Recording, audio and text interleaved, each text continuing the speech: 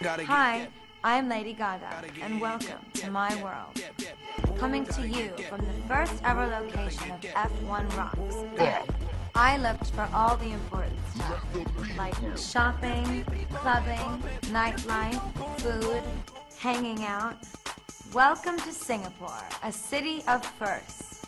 The race is on, so get ready to rock your F1 world in Singapore this September. Don't miss it.